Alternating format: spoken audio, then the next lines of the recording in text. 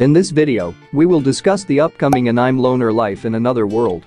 This captivating light novel series written by Shoji Goji. The story follows Haruka, a sarcastic loner who, along with his classmates, is transported to another world.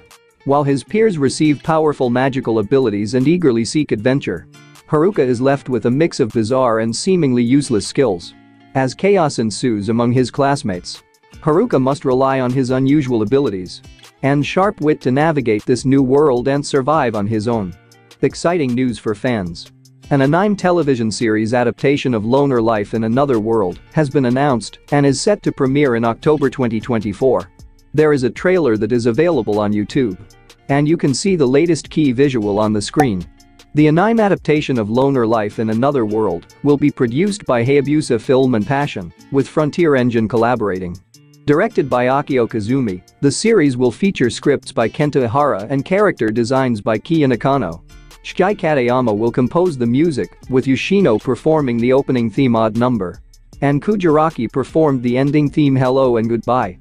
Stay tuned for more updates on Loner Life in Another World as we get closer to its release. What do you think of the upcoming anime? Let me know in the comments section. If you are new to the channel, don't forget to subscribe for all the latest news. That wraps up today's discussion, anime enthusiasts. We hope you found this update informative. Until next time, stay informed. And keep exploring the vibrant world of anime. Thanks for watching.